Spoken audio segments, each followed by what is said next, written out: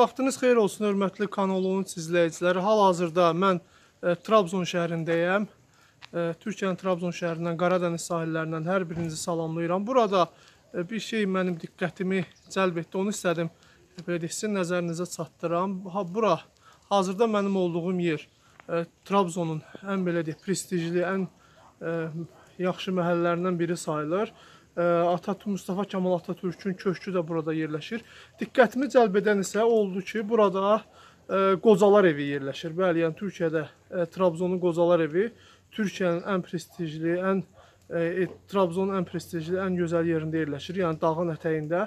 Mən indi e, həmin Qocalar evinin video görüntülərini sizə çəkib təqdim edəcəm.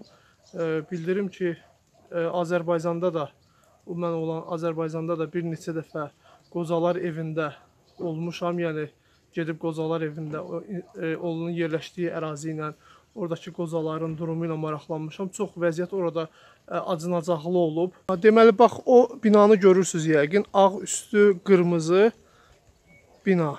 O Trabzonda Qocalar evidir, hörmətli izləyicilər.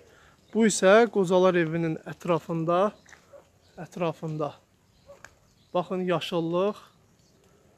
Orada isə qara dəniz, hazırda dumandır, dəniz elə də görsənmir, amma diqqətlə baxanda dəniz də sizin nəzərinizə çarpacaq.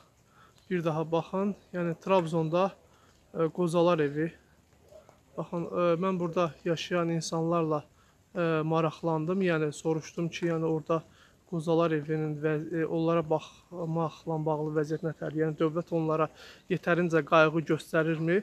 E, burada yaşayan hər bir şəxs dedi ki, yəni orada Qozalar evində yaşayan insanların hamısı e, dövlətin onlara göstərdiyi qayğıdan tam razıdırlar. Yəni onların qidalanması, onların müalicəsi, hər birini dövlət öz üzərinə götürüb dövlət həyata keçirir. Yəni həqiqətən də çox gözəl yerdir. Sanki 5 e, ulduzlu oteldir. Yəni e, yəqin ki, Azərbaycanda olsaydı oranı e, hansısa məmur alıb otel eləmişdi.